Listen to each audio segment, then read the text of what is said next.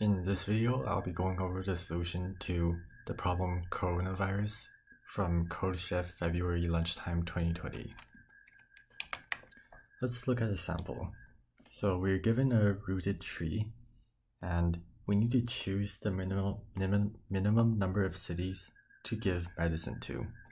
And if we give this medicine to people in the city, then the city and all cities in its subtree such that their distance from the given uh, city is at most k become cured.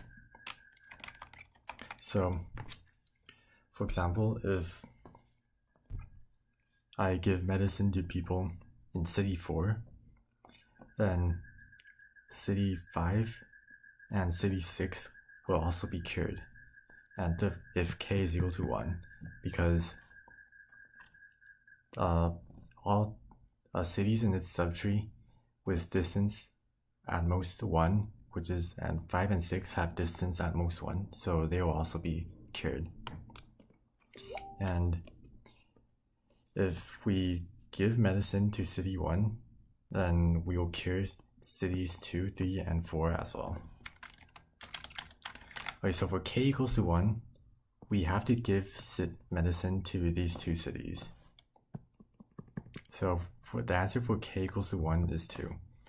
And then for 2, 3, 4, 5, and 6, we only have to give medicine to city 1 in order for all cities to be cured. So the answer for the rest of k is 1. So, and the total answer, for the total answer, we just sum everything up and we get 7. So this, this will be the answer for this test case. So first, we should consider how we can find the answer for a specific k. And the first observation is that we can use the following greedy solution, which is pretty simple. So while there's a city which is not cured yet, um, we will find the deepest such uncured city and we'll call it U. And then we'll give medicine to the kth ancestor of you. And this will basically cure you. And you might ask, um, and in order to cure you, we must give medicine to an ancestor of you, maybe the first or the second or all the way up to K. But then in fact, it's optimal to give it to the kth ancestor. So in this case, is if k is equal to 3, and we only give it to the second ancestor, then we only cure these nodes. But if we give it to the third ancestor, then we cure even more nodes. So this is why it's better to give medicine to the kth ancestor. And it's important to note that U has to be the deepest node in order for this to be true. So in, in order for uh, the kth ancestor to be optimal.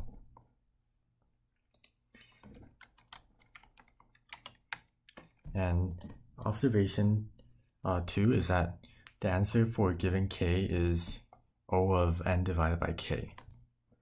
And this is because uh, every time we give medicine to a city, except for maybe the root node, we cure at least k plus 1 cities, since uh, the medicine can reach cities with distance k. This also means that the sum over all answers is O of n log n.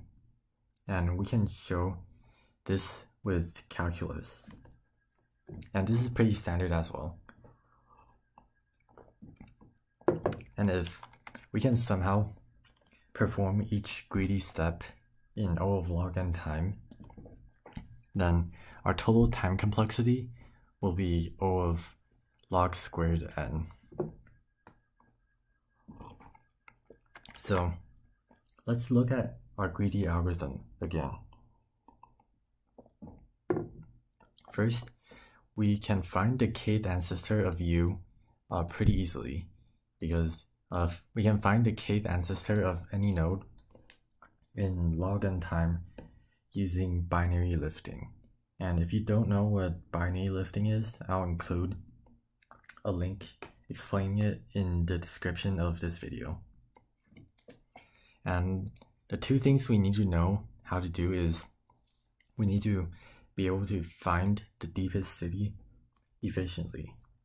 And when we give medicine to city U, uh, we should set all cities in subtree of U to cured.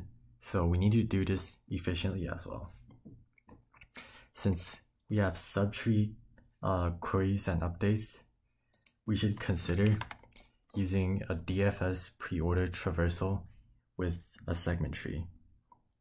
And I will include a link in the description if you are unfamiliar with using the DFS pre-order traversal technique uh, for subtree queries.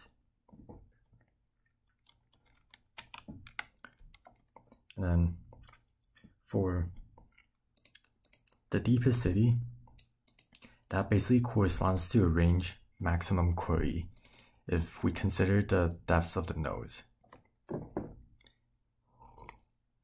And then to set all cities in the subtree to be cured, that is just a range set query. and these two operations, we can do them efficiently in log n time with a segment tree. So let's look at my code.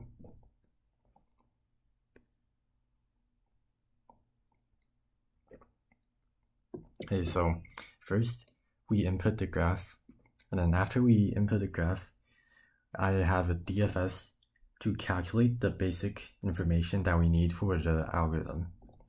So in the DFS function, the first thing I do is I calculate the ancestor table for in order to do the binary lifting.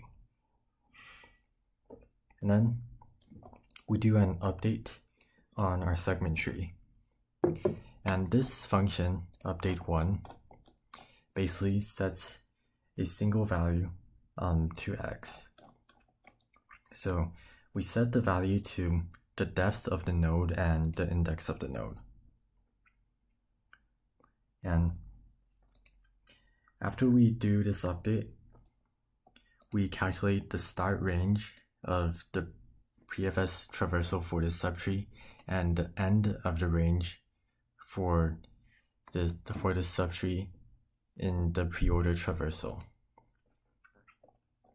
And then here's uh, my greedy algorithm. So for each k, I run the greedy algorithm as described earlier. So each time this inner loop runs, I add one to the answer. So what I do is first I find the deepest node. So I query the root node of my segment tree to find the node with the maximum depth. And then if and u of 1, it basically gives me the index of the node. And then if u of 1 is negative, then that means that there are no nodes left. So I should just uh, stop. And otherwise, I use binary lifting to find the kth ancestor of u of 1.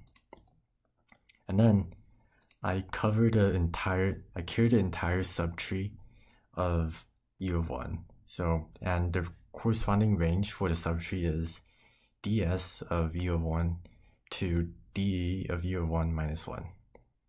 And this function update 2, it basically sets a range equal to um says equal to uh zero uh equal to a node with a node with index negative one which basically clears the node and after uh, this algorithm finishes we need to restore the changes to the segment tree. So what you can do is you can use a persistent segment tree but um, if you don't know that yet, that's okay because what you can do is every time we change the segment tree and update to this function, every time before we do a change, we'll store the original value in the segment tree and, uh, and we'll put it into a vector which stores all of the changes. And then after the algorithm, we basically start from the back of the vector and restore the changes that we made to the segment tree.